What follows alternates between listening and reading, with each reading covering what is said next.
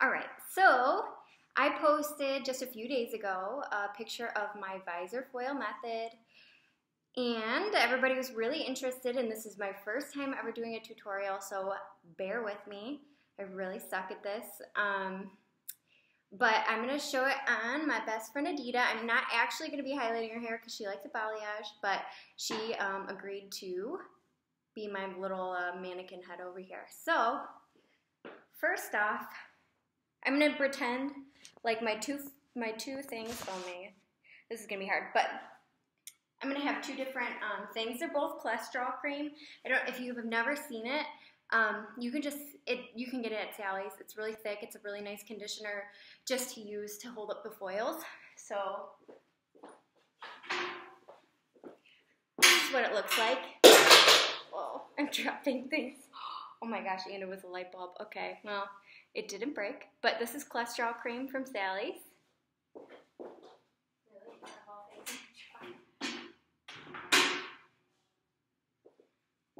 Alright, so I cut first, so I'm going to be doing this on wet hair, and I know that I'm going to be breaking the rules, but that's just how it is. So um, I learned this. A lot of the ladies at my salon use this uh, trick or this technique. Um, there's no real sectioning. I just start with all the hair combed back and I'm going to try to talk my way through it. If you guys have any questions, I'll try to answer it afterwards. Um, so here I go.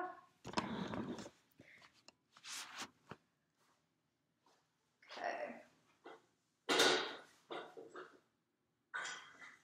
Okay. Short people problems. So I have to have my clients start off with their head kind of back and up. So I just comb back first. It's so much easier to use this on wet hair than it is dry. You could try it. I wouldn't suggest it. Um, but this is going to be my pretend cholesterol, and this is going to be my pretend bleach, or whatever color you think it would be. Um, so, here I go. First I start off by holding back the hairline and just painting all across this hairline with cholesterol. I kind of usually warn my clients that it's kind of cold. So you can, if you want, warm it up on your hand before. I'm not that nice. So,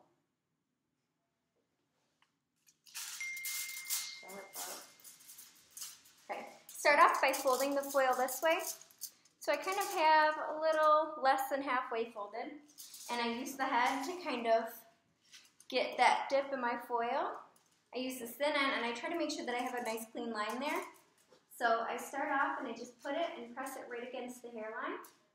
So as you can see, it goes right up to it. Your first foil is always going to be cholesterol. Unless asked otherwise, I have done bleach first. I prefer to have cholesterol first because it's a little barrier for that front piece. You just kind of shape it to give it like a nice curved look. Sorry, Adita, I'm going to kind of show like this. You're like, stop. All right. So first, have your client start off with their head up. You just take this first section. You can do a really clean section. You can do it little or big. It totally depends on how blonde you want it, basically. So I paint the cholesterol directly on the scalp. So every time that I am doing a cholesterol, which is my skip, I'm going to be painting directly on the scalp because it kind of gives it a nice little barrier and it helps hold the foils. So once I get, I did all across the hairline. As you can see, all the way, and I just painted it directly on the hairline. And then that's when I take my next foil, fold it again, Use the head as like a little molding for your foil. And then I just hold it and I just make sure that this is really close to the hairline here. So I'm just stacking these. So now I would do a highlight. So I'm going to use my purple bowl. And I just kind of put the bleach across here like this and I paint it all the way. If they are only getting like this tiny bit of root, just only do a tiny bit at the very end. It just kind of helps hold the hair. This is where I can do a weave. So I'm going to weave this. You can do whatever you want though. If you want to weave, if you want to skip, you can do whatever. So I would either, if they're blonde already, like let's say her root starts here, I'm just gonna paint it on the root and I can keep it just like that. So here is another weave, and I'm going all the way across the hairline, and I'm just pretend touching up her root.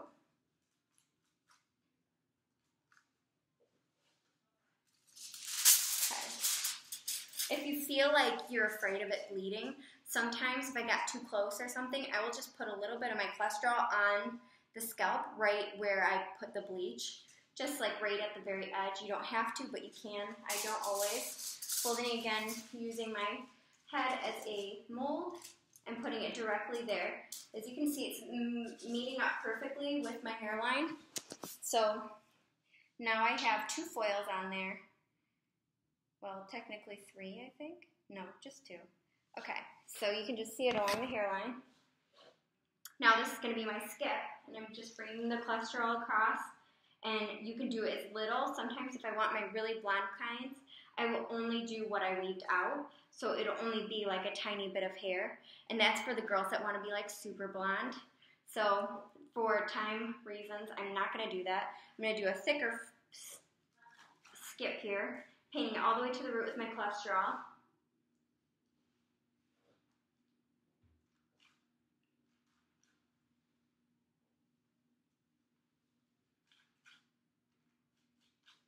Okay, so now I painted all the way to the root, pulling my foil again and using it as a mold. And you just keep doing this. You can do whatever pattern you want. Once it starts, so like right now I'm kind of getting to a point where I feel like it's not meeting up perfectly. So what you do is you pivot the foils so it goes with the shape of the head. So now I'm going to push this forward a little bit so I'm not getting it all. And so it's just perfectly up in that front hairline.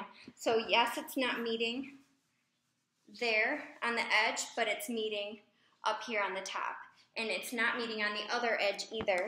So that's why I am only doing this top section. So now I'm just going to paint the fake bleach here on this little edge, just on the top where it's meeting.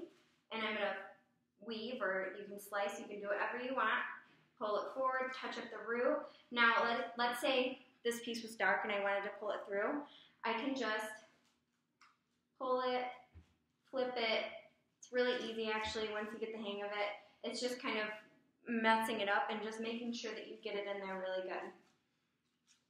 So if you take a long time, or if your client's really light, you can use start off with a smaller developer and like start off with five or ten volume if you are feel like you're going to take a long time. I would definitely suggest doing this on a mannequin a couple times before you actually do it. Um, so you start off lower, and as I have to mix, I make sure that I mix a higher developer every time, unless I feel really unsure about it, and I'll just do ten until like the very back. Um, so when you only weave the top section, you can only skip that much. You don't want to skip all the way across the hairline. You want to just get where you foiled before. So, and I just, oh yeah. I also, I paint when I don't have any sections here, like being weaved, I will just paint the cholesterol here to give me a little extra hold so that the foils stick together nicely. So I adjusted that top section. Now I'm going to see if it matches. It's matching up all the way on this side and all the way on this side. That means I can go back to doing completely across. So I'm going to go back to my fake bleach. I'm going to slice this time for time purposes. Paint all the way. You can get as close as you want. I like to leave just like a little edge right here just to make sure that I am not um, going to have any bleeding which is like what you would do with a packet anyways.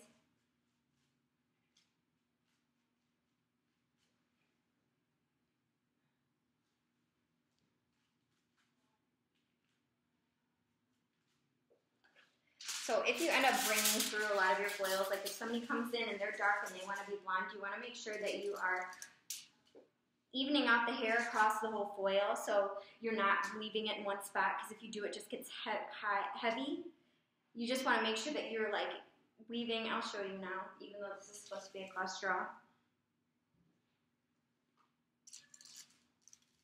Just want to make sure that this is all the way to the hairline. So if you want to bring this through, I'm just kind of trying to even it out so it's not all in one place. So then this section here is going to be just in this part, maybe a little bit here, just so I'm not just piling it all in one spot.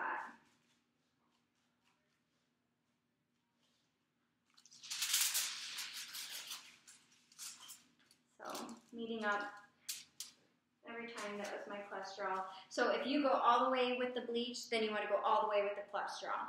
So now I'm doing bleach again, and it's going to match up good again this time. So I'm going to do a bleach again. I just keep checking when I put down my foil if I wanted, um, if it wouldn't meet. So would, the root would be close. I just want to make sure that the root is close.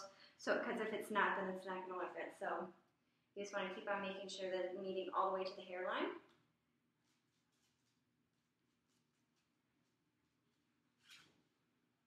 So I'm weaving right now. And it is important to have a certain um, grip on the brush because you need to be able to weave it. So I don't know if you can tell what I'm doing here, but I just weave it this way, pick it up, paint on, weave it again this way, pick it up, paint it on. So it's a little different than when you're doing a touch-up. You just have to kind of get used to the way you grip it. It's just a little different. You'll eventually get it, just it takes a second to get used to the grip on it.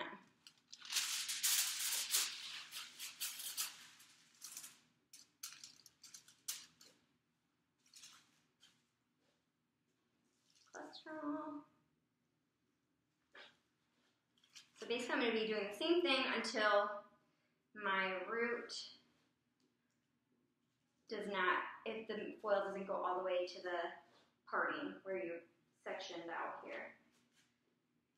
And then you just do the center mohawk section again. And it does get it all just by the way you pivot. So now I'm going to be going this way. So sometimes, like I could tell, once you get used to it, you can tell when your foil is going to meet and when it's not. So I'm already pivoting. So here I am. It's, you just have to make sure you're pivoting because if you don't, then you end up with a stack on top. It doesn't look good. So you can do whatever pattern you want to. Like if you want to add a low light, you can do that too. Um,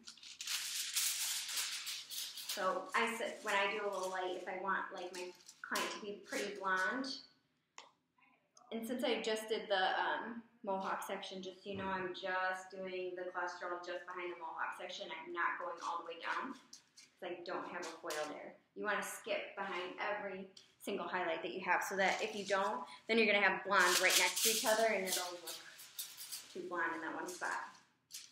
So still pivoting. Sometimes it gets like a little wider. You can see where it kind of meets up and where it doesn't. I'm going to try to show you. So I'm going to show you where it connects.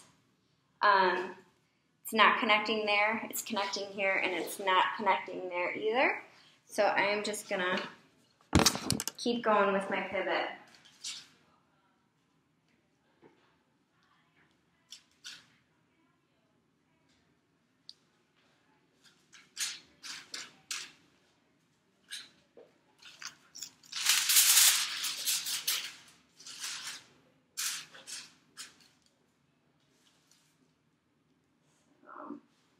just behind where I foiled.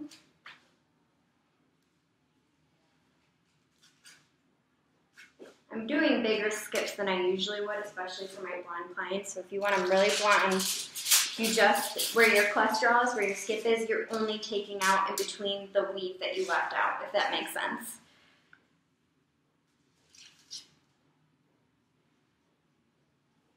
So, another weave. If you want like a more natural look, you go for a finer weave. If you want a little heavier look, you go for a thicker, heavy weave. It just depends on what kind of look I'm going for.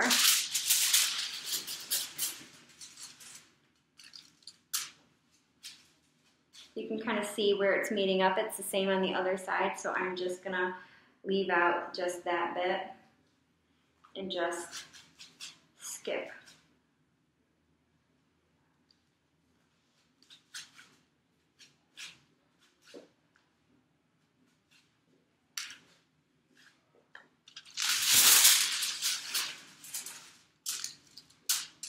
now it's starting to meet up all the way and now I can go to a regular weave.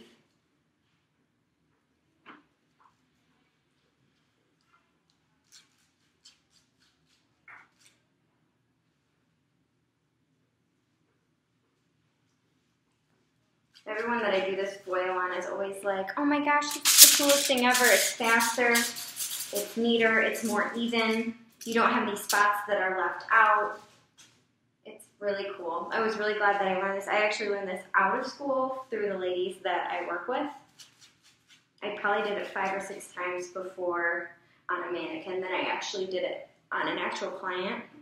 I was also a lot newer when I learned it. I was probably less than a year into my uh, license.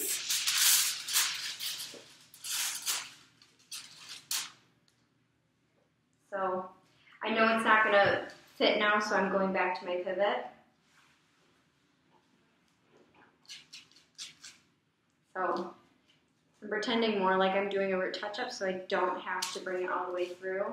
If you guys have questions or anything else that you want answered, um, I can try to show you again if I miss it on the video.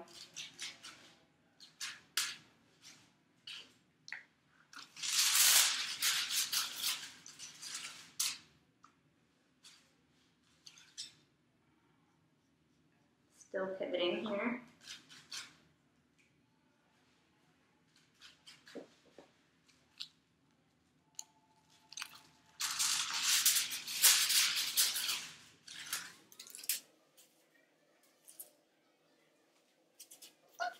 All the way to the root. Every time that you do a skip, you paint all the way to the root to kind of protect the hair, just in case of a bleed. And make sure you tell your clients when they're processing, do not touch the oil because had times where a client, you know, thinks it's bothering them or something. If they want to have an itch or anything, they move it and it ends up messing up the foil and it's hard to get back into its spot. So I always try to tell my clients, don't touch your foil.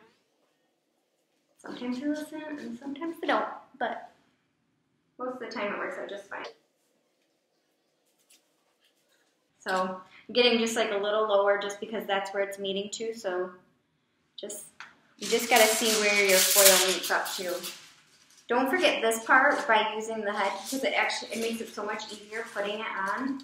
Um, just you'll see when you do it. it makes it so much easier.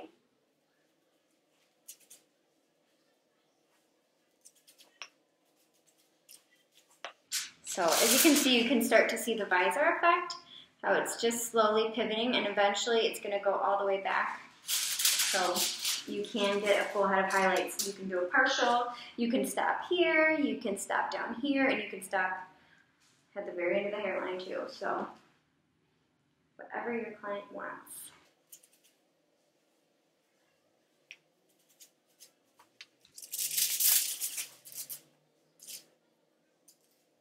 If I ever get it like not close enough, I'll just push the foil back to where I want it.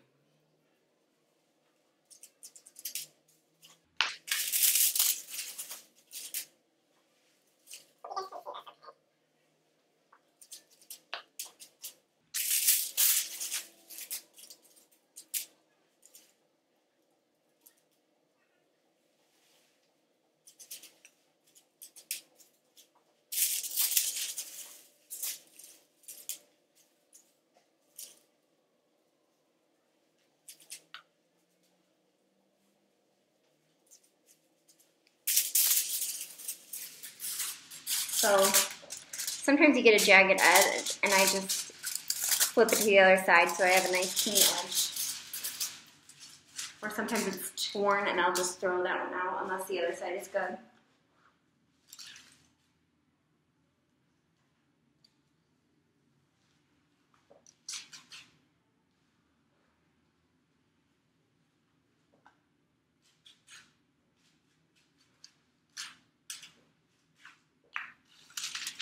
I always end up right here, just so you guys know I'm like an artist over here. I always wipe it off at the end because I just usually can't help myself.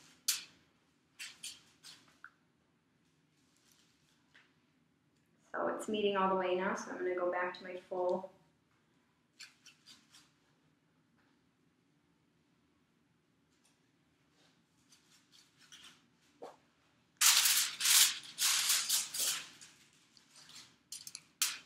where I foil or do a bleach, again, I have to do all the way across for my skip and cholesterol. I'm going to start doing a little bigger just because I don't want this video to take a million hours.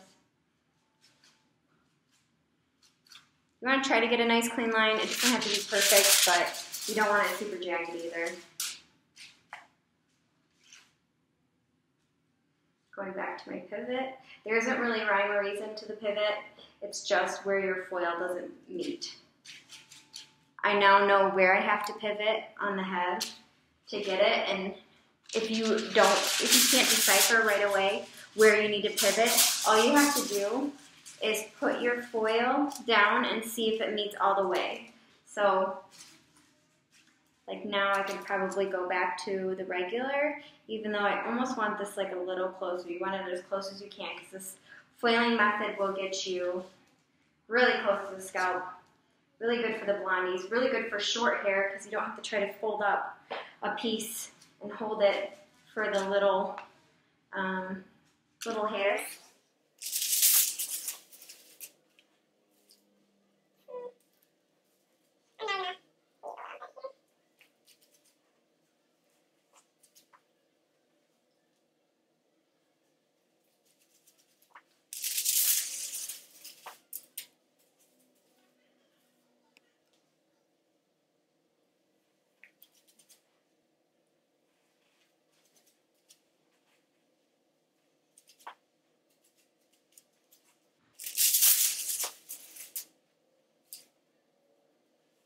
I guess Show you now.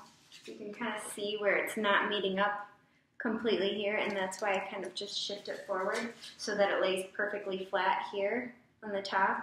That's how you know when you need to pivot. If it starts like sitting up really thick here, that means that you're not pivoting enough.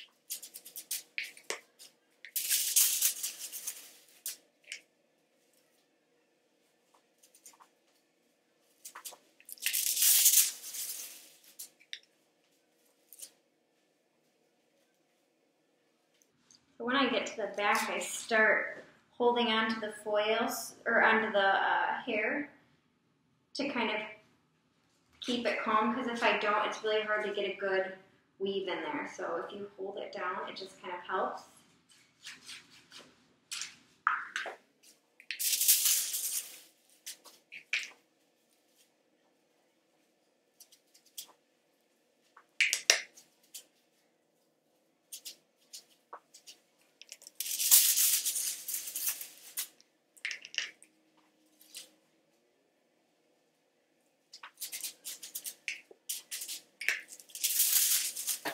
Make sure you're not forgetting to put that little extra cholesterol here because that's what kind of keeps it all together.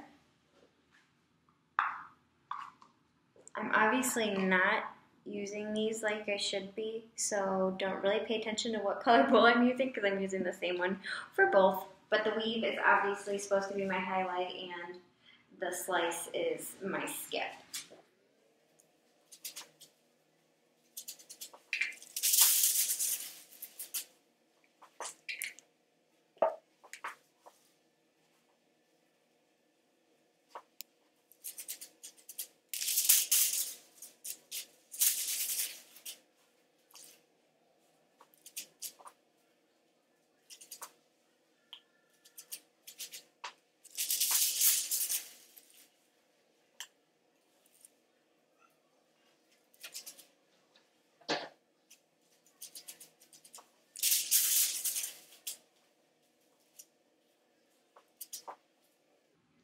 So now once you get to the back, you want to follow the hairline. So you're going to slowly start bringing these down just by pivoting.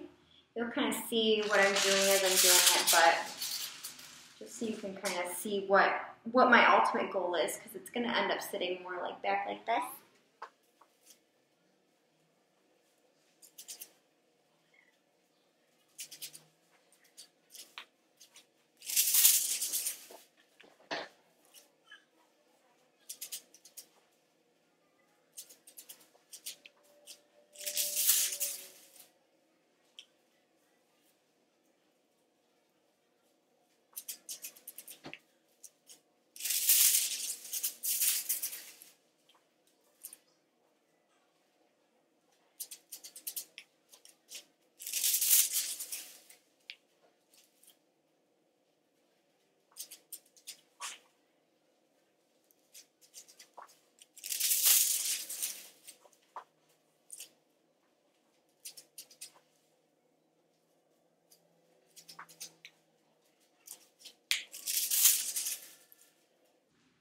See how that is meeting up perfectly to her hairline, where my parting is. You want to make sure that that's that close when you're doing it. This is my weave. So when you get to this back, it is a little harder to bring through, but really not bad. So because of this, how sticky the product is, it really doesn't make it hard at all. But you just want to make sure that you're bringing it all the way across so that it's not just sitting in one big clump in the middle. You just want to make sure that you're matching it in good, especially with like a low light. I mean, same with any other highlight or foil that you do, you do want to make sure that's really saturated. Um, just so it doesn't get um, partially saturated and look bad.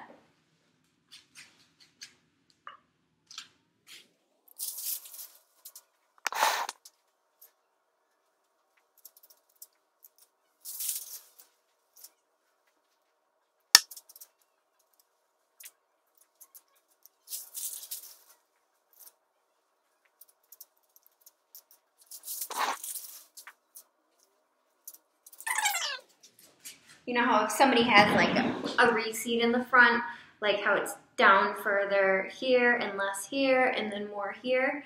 When you're doing it, if it if this hair does not reach, do not foil it. You're only foiling what's reaching your foil. So make sure that, um, yeah, you're not bring, trying to bring back like this hair to meet up to that front foil. So just be cautious of that. You don't want to do that. It'll look weird. It won't be all the way to the root, yada yada.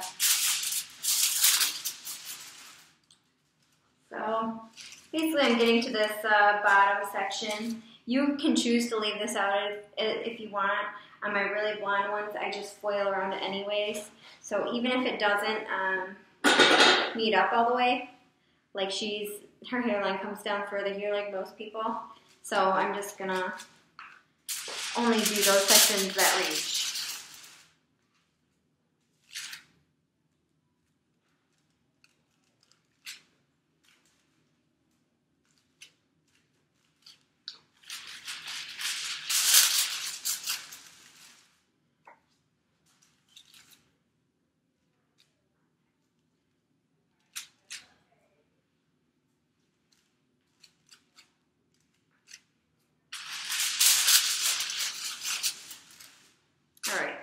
So I'm just going to leave these ones out. To finish the foil, I will bend up these right here so that the back ones don't fall off. And then I will clip up this front section of hair here just so it's out of their face and they can breathe freely. Um, if it bothers them, you can clip it up in the middle or beforehand, but you can just clip this up. If you want to put it under heat, which I know some people are against that, I do it all the time, so and um, you just put a plastic cap over it. I just kind of put it on this like back section. Um, none of the bleach is out, so it's not really that big of a deal if you have it or not. I do it anyways, just in case. I don't want to dry out any bleach. Um, and then to take it off, honestly, this is the easiest foil to take out. Um, I'm going to take it out right now just so you can see it. So um, I would usually be doing this at the bowl, but since we're not um, actually foiling, I'm just going to take it out. Oh, wait, hold on. I'm going to show you how to check your foils too so you can see. So if I check in the back and I know that this is pulled really well, you can kind of check to see. You want to make sure you don't move it too much so that you're not sliding the foils. Um, but I will pick up, I, mean, I would like kind of pick up in this front area and just kind of slowly look and see how my foil is doing. You just want to be really careful that you're not like just ripping it up or moving them really far because if you move one, then one, one, another one will move and yada yada. So I'm not very good at this. but um, to take it out, basically you can just kind of grab a few foils and just bend it back and take it out this way. You don't have to unfold it. You can just kind of pull. There's usually always some left. Sometimes I'll just take it out like a few at a time. We just kind of So I wish I could show you um, the after result if I was actually foiling her, um, but I didn't want to make her any blonder than she is for now. Um, so yeah, um, I really hope that you guys enjoyed this video. Um, if you guys have any questions, you can definitely comment, private message me. You can do whatever you want. I will be try my best to answer any questions that you have. If I didn't touch base on something, just let me know and I can try to um, explain it in another video if it's not easily explained on a comment. Um, I'm really glad that you guys were interested in my foiling method. I love it. This is called the visor method. Everybody loves it.